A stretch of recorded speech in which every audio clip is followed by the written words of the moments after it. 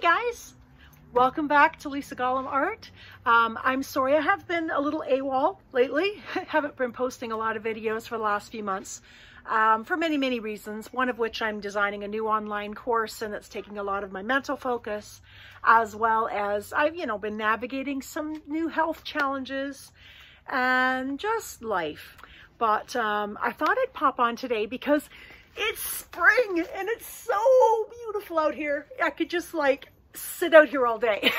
so I did just think that it would be really fun just to come on quick and let you know what I've been working on. So some of you know that I used to be a therapist in my old life back in the day. And I still very much see art as part of that for me. Um, it keeps me sane in so, so many ways. And because that I'm a little bit in a unique position as an artist or as an art teacher, that I don't like just focusing on techniques and how-tos. I mean, I do that, of course, you have to do that. But I also am so, so, so passionate about art being part of our soul or part of our healing process, part of our self-expression. That's why it's called self-expression. It's expressing the self. And I think that sometimes in the art world, we don't focus on it as a newer artist. It can kind of get you stuck in just sort of making pretty pictures or painting something that looks okay, but hasn't got a lot of heart underneath.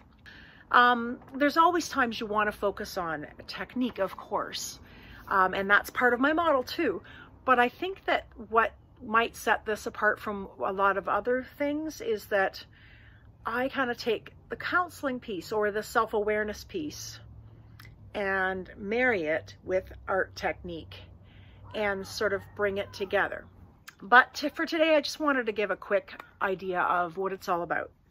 I start with some introspection sometimes meditation or mindfulness exercises, mostly journaling. If I'm struggling with something, I just talk about it. Or if I'm happy about something, I talk about it. it doesn't have to be sad stuff. Just whatever is on your heart, get it out. What am I feeling? What am I struggling with? What am I excited about? Something that triggers some emotion because emotion is kind of what makes the quality of your life and we are humans and one of the things that makes us human is that we feel things. And some of us more deeply than others. I'm a bit of a feeler but i really really recommend as an artist even if it's just a few minutes that you spend time in introspection and so and sort of getting it back in touch with yourself before you start to paint. So that stage i call introspection so this whole model, every step, you will notice that the, every word starts with IN. So that's why I call it the in-process model of creative exploration. So after I've introspected for a while, I've usually got some kind of sense of the main meat of what I introspected. Like, that sounds really weird, but like the main emotion or the main sense. So from that, I think, how how could that be represented visually? So what I want you to do with those kinds of symbols that you think of or the visuals, even if it's just a color or a texture that makes you, that looks like how you feel in that introspective piece you did. Then you go, usually I go to my computer and to Pinterest or just Google or whatever, and just search for some images to inspire me. So I sometimes spend a while in the, intro, in the inspiration stage of my process. And sometimes I go back and forth between introspection and go back into thinking through things and writing some more and then back to the inspiration. And sometimes that can be percolating for a long time between those, those things. So, but when I want to set some paint on a canvas, the next stage I call intuition, another inward. So in the intuitive stage, you've probably seen a lot of those on my channel. I try to now not think anymore. I try to sort of quiet the mind. And I do that a lot of different ways, and I'll get into that more in the course. But there's a lot of ways to kind of hone into that flow and just to let go And I literally think as little as possible and I throw paint out of canvas. I, you know, grab whatever brushes is handy or whatever. Intuitively, I just want to grab and I just start making stuff on happen on the canvas. And in this stage, things can be messy, they can be quick. Usually not a long, long stage for me. Half an hour usually is lots of time just to get some marks on a canvas. And I like this because then you don't have to worry about the blank canvas. It gives you something to leap from. So that's the intuitive stage. Um, the next stage I call intention. So that's where some art training comes into play. And then you start editing. Now, the beginning of that process is mostly figuring out where the focal point is, where the places of more rest for the eyes need to be, calming some things down, directing the viewer to where to look in your painting, um, all that stuff. That is just the stuff of art that we're talking about there. The next one, it took me a while to even figure this one out, but there was a sort of a step just beyond intention, and I call it intensity. It's ramping up the volume because what we focus on in this stage is thinking about what does our piece mean? What does it communicate? What's it speaking? What's it saying? Um, what do I want the viewer to feel when, when they're looking at this piece?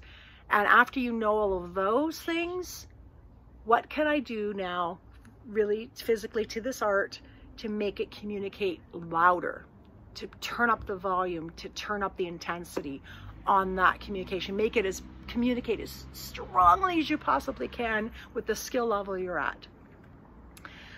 And then usually when, the, when we're done this stage, our artwork is done, but then I go to the sixth stage, which I call integration.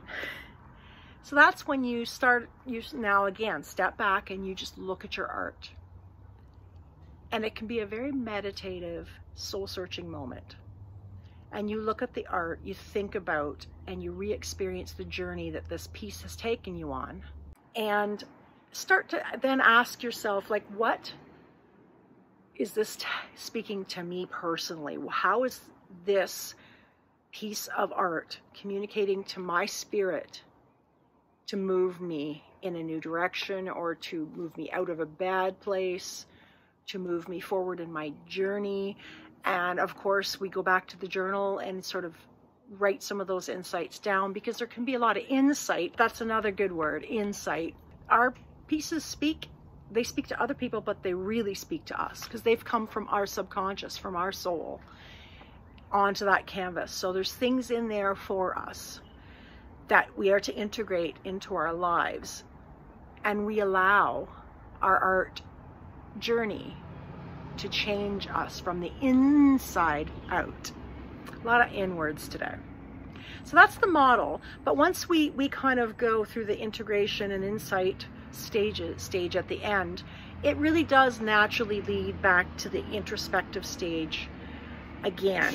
And that's another, you know, okay, so now that I know how this piece is speaking to me, what do I need to journal about through or think about in that respect? What more is it bringing up for me? Okay, now take that and make another piece and go through the process again and round and round and round and round and round. Please leave me a comment in the, in the comments below. Let me know what your thoughts are, if you have a different process for creating your artwork.